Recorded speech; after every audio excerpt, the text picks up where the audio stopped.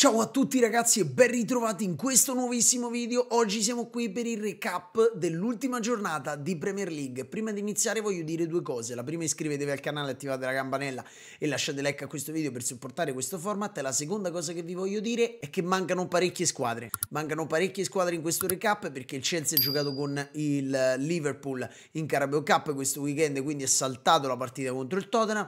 Mancherà il West Ham col Brentford che stanno giocando questa sera il West Ham stava vincendo 2-1, non la potrò analizzare perché sto registrando il video mentre sta giocando, quindi di match di squadre che mancano sono parecchie, ma ragazzi succede, succederà sempre che qualche squadra manca perché vuoi non vuoi o una gioca dentro la settimana, un'altra c'è una partita di coppa e quindi non le possiamo analizzare. Detto ciò, partiamo. E io direi di partire proprio con Palace Barney, partita finita 3-0 per la squadra di casa. Il Palace stra domina il Barney, lo distrugge, lo disintegra, c'è veramente poco da dire, il Barney di Company è una squadra piena zeppa dei problemi. Io mi ricordo quest'estate quando finì il campionato della passata stagione, tanti parlavano di questo Barney di Company, tutti lo elogiavano per il campionato clamoroso che avevano fatto proprio in Championship. Io, come dissi anche nella previsione della mia classifica, il Barney era una squadra in quel periodo troppo esaltata, come si fa ogni volta, no? Quando sale una squadra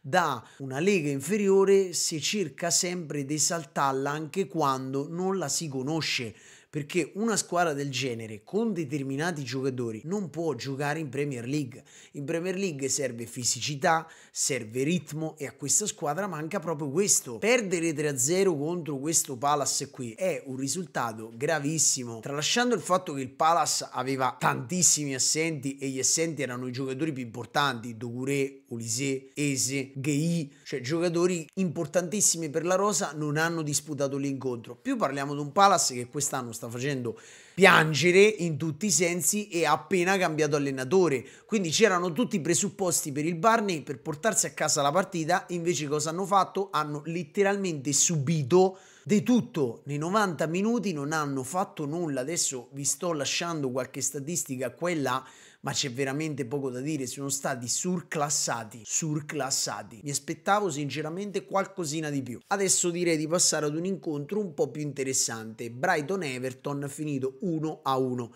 Che dire di questa partita? Il Brighton domina, perché il Brighton ha dominato letteralmente per 90 minuti, come sempre perché il Brighton, la squadra allenata da Roberto De Zerbi, tende ad avere sempre il pallino del gioco, tende sempre a schiacciare l'avversario, tende sempre ad avere quello stile lì. Dall'altra parte l'Everton l'Everton è sempre quella squadra lì, quella squadra che si chiude, si arrocca dietro, aspetta il momento giusto per ripartire. Ed è quello che è successo. Questa è stata la partita. Brighton che attacca, Everton che si chiude e cerca di ripartire. Il problema è che questa partita non se l'ha portata a casa nessuna delle due. Il Brighton riesce a pareggiare praticamente alla fine un 1-1 che sta stretto ad entrambe perché il Brighton eh, sta cercando quest'anno di alzare l'asticella, non dico di andare in Champions League, ma di riconfermarsi per l'Europa League. Dall'altra parte l'Everton sta cercando di uscire dalla zona retrocessione, quindi questo pareggio non fa bene ad entrambe. De Zerbi continua ad avere questi problemi difensivi perché questo è l'ennesimo gol che subisce questa squadra. Questo è un dato importante per i romanisti perché la squadra di De Zerbi soffre parecchio le squadre che ripartono e che sanno ripartire. Tanto che la Roma affronterà proprio il Brighton di De Zerbi in Europa League, spero vivamente che Daniele De Rossi riesca a capire questo difetto del Brighton e riesca a utilizzarlo a suo favore. Giocatori che mi hanno impressionato in questo incontro non è che ce ne sono stati tantissimi, quello che mi ha impressionato di più è Gross, ma ormai quella è una certezza ragazzi. Pascal Gross è un giocatore incredibile che si porta a casa per me nuovamente l'MVP della partita. Dall'altra parte possiamo dire che quello che a me è piaciuto di più è Brett White, difensore centrale che segna pure il gol del vantaggio per l'Everton, giocatore che ho analizzato già su questo canale che mi fa impazzire. Detto ciò comunque per me il pareggio ci può anche stare perché guardando come gioca l'Everton e guardando come gioca il Brighton in generale era una partita che se voi l'andate a guardare nei 90 minuti ci stava il pareggio pareggio ci stava pienamente. Proseguiamo con Aston Villa Forest, partita che ho dovuto recuperare perché giocava contemporaneamente al Manchester United, partita spettacolare che finisce 4-2 per la squadra di Emery. La cosa divertente è che la squadra di Emery era in vantaggio di 3 gol, poi ha subito due reti in praticamente 3 minuti, poi però sono riusciti a chiudere il match definitivamente concludendo il tutto con il 4-2. Questa è stata una partita parecchio strana perché nei primi minuti della partita, nei primi 20-25 minuti anche di più, Aston Villa ha praticamente surclassato il Nottingham, non riusciva il Nottingham ad uscire, non riusciva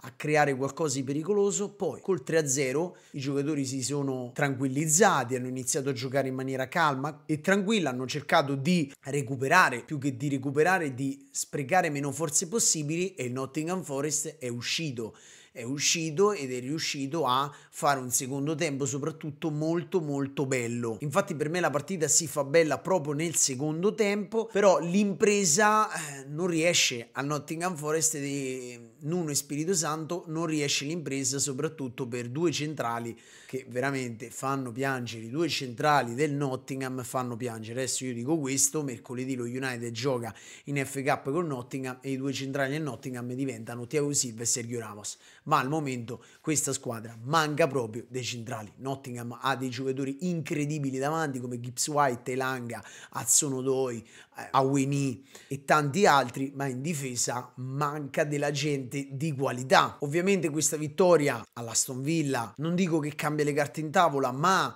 eh, c'è più sicurezza adesso per la zona Champions perché lo United ha perso col Fulham, loro hanno vinto e quindi praticamente si proiettano ad una possibile ed incredibile qualificazione per la prossima Champions League. In generale i due giocatori che mi sono piaciuti di più in questo incontro è Gibbs White, ovviamente come sempre, e Douglas Luise che continua perennemente a segnare, ha delle statistiche incredibili, cioè un mediano che segna veramente una valangata di gol. L'unico difetto di questo ragazzo è che è un po' un po' provocatore, ecco, sapete un po' quello che è successo con lo United, un giocatore un po' che tende a provocare ogni volta però è veramente pazzesco a livello di qualità, è incredibile, un giocatore che quando è arrivato all'Aston Villa nessuno ne parlava, adesso tutti ne parlano ed è giusto così perché se lo merita. Manchester United Fulham, io ragazzi direi di saltarla tranquillamente perché ho già detto tutto nel mio post partita, direi di passare a Bournemouth contro il Manchester City, finita 1-0 per il Manchester City. Attenzione, attenzione perché il Manchester City in questo match ha rischiato. Ha rischiato perché il Bournemouth per l'ennesima volta si dimostra una squadra che contro le big fa veramente tanto male. Io non so se è perché l'avversario sottovaluta questa squadra, io non riesco a capire il perché, ma quando giocano contro le big questi si trasformano, sembrano veramente il Real Madrid fanno delle prestazioni incredibili. È ovvio che in generale nei 90 minuti hanno creato poco, hanno attaccato poco, ma perché hanno affrontato il Manchester City, squadra che tende sempre ad avere il pallino del gioco, squadra che tende a schiacciarti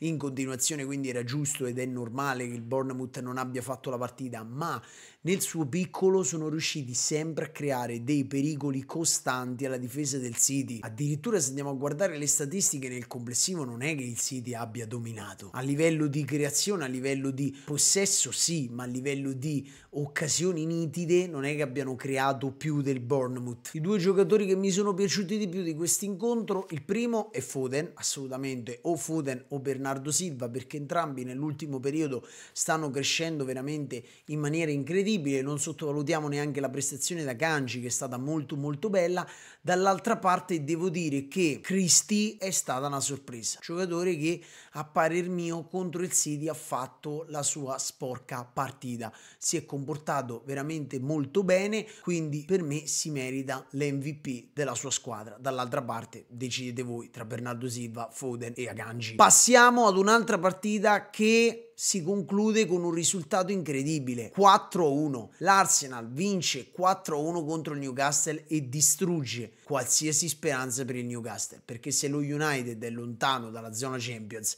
il Newcastle è anni luce dalla zona Champions League. Questa sconfitta sancisce un po' quello che era il sogno, quello che avevano costruito l'anno scorso quelli del Newcastle. Partita che non c'è stata perché non c'è stata partita ragazzi Il Newcastle in 90 minuti ha fatto solo due tiri in porta. Questa vittoria è l'ennesima vittoria dell'Arsenal di Arteta in questo 2024, che per ora ha steccato solo la partita col Porto. Quindi sta vivendo un momento veramente incredibile, soprattutto in casa. Bisogna citare assolutamente la crescita di Guy Havertz in questo 2024 che sta migliorando sempre di più.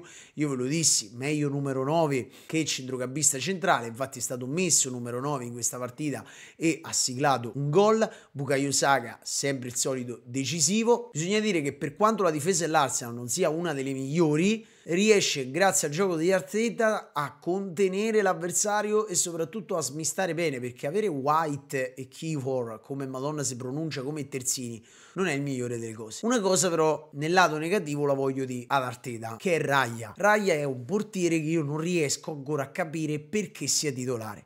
L'anno scorso Ramsdale si era comportato bene. In Inghilterra addirittura c'era chi diceva che Ramsdale era il miglior portiere in Premier. Quest'anno si è presa questa decisione Arteta, ha preso questa decisione Arteta di escludere Ramsdale per mettere Raya, per la gestione, per i piedi. Siamo tutti d'accordo che il portiere ex Brentford sia migliore di Ramsdale. Ma alla fin dei conti, come abbiamo detto anche sempre per Onana, il portiere deve parare. Raya continua perennemente a parer mio non dare certezze tra i pali. È un portiere che non, non ti dà mai sicurezze. Per esempio, il gol del Porto, se voi lo andate a riguardare, non dico che sia colpa al 90% di Raya, ma Raya compromette la partita per il brutto posizionamento e soprattutto per il mancato intervento, perché praticamente si butta in ritardo. Partita che a parer mio, quindi giocatori che a parer mio non lo vedo benissimo. Dall'altra parte il Newcastle è una bomba a mano in questo momento, non si salva nessuno.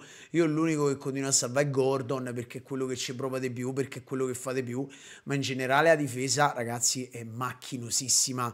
L'anno scorso il bello del Newcastle era proprio questo, che ti andava a pressare con tutti gli effettivi, ti pressava con i centrocampisti, ti pressava con gli attaccanti, ti pressava con i centrali, ti pressava con i terzini. Adesso veramente la difesa sembra un robot, cioè proprio sono meccanici, si muovono male, in maniera lenta, macchinosa, brutti proprio da vedere. Sono stati surclassati dalla velocità di quelli davanti dell'Arsenal, Martinelli, Kai e Bukayo Saka, infatti tutti hanno superato la media del 7 come valutazione, in generale hanno meritato loro, l'Arsenal continua a rispondere a tutti. Per il discorso Premier, questo per me è l'anno dove l'Arsenal potrebbe seriamente ambire a vincerla, l'anno scorso ve lo dissi che per me non la vinceva perché mancava qualcosa, quest'anno non manca niente manca il numero 9, ma allo stesso tempo c'è una mentalità diversa. L'anno scorso eh, i giocatori Arteta ha provato e hanno provato il sapore amaro della sconfitta, di aver perso un campionato alla portata. Quest'anno hanno l'esperienza che li può portare seriamente a vincerlo. Bisogna capire poi il Liverpool se si fermerà mai perché al momento è una macchina da guerra. Passiamo avanti col Wolverhampton Shelf United, finito 1-0, gol del Sanabria. Anche qui c'è poco da dire. Mm, cioè è stata una partita per me che doveva finire in pareggio in generale si comportano bene entrambe le squadre. Lo Sheffield United c'è da dire che è una squadra che per quanto sia neopromossa e per quanto abbia dei limiti molto più grossi del Luton Town, oddio, forse il Luton Town no, però sicuramente del Barney sì, continua a fare ottime prestazioni. Lo Sheffield United è una squadra che a parer mio anche col Brighton, ve lo dissi, che se non prendeva rosso l'ex difensore dell'Everton nei primi minuti, per me lo Sheffield United il pezzotto lo dava al Brighton dei Zerbi perché è una squadra ostica, una squadra che si sa difende, si sa ripartire, però ovviamente ha dei limiti tecnici, ha dei limiti tattici, ha dei giocatori che non possono stare in Premier League e questo poi comporta a questi risultati. Una sconfitta che a parer mio non ci sta, ve l'ho detto perché il pareggio era la cosa migliore.